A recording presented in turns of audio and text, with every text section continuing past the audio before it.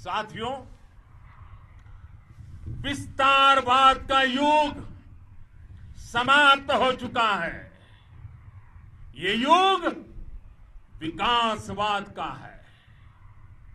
तेज़ी से बदलते हुए समय में विकासवाद ही प्रासंगिक है।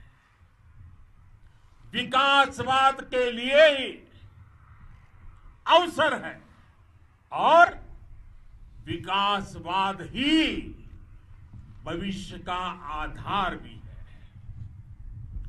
बीती शताब्दियों ने, बीती शताब्दियों में विस्तारवाद ने ही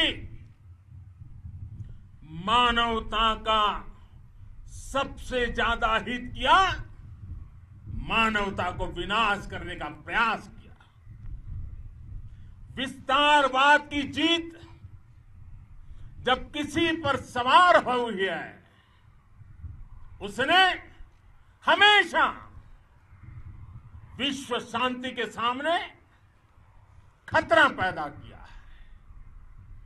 और साथियों, ये न भूले, इतिहास गवाह है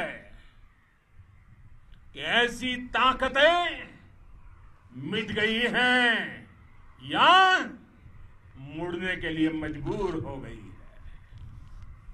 विश्व का हमेशा यही अनुभव रहा है और इसी अनुभव के आधार पर अब इस बार फिर से पूरे विश्व ने विस्तारवाद के खिलाफ मन बना लिया है।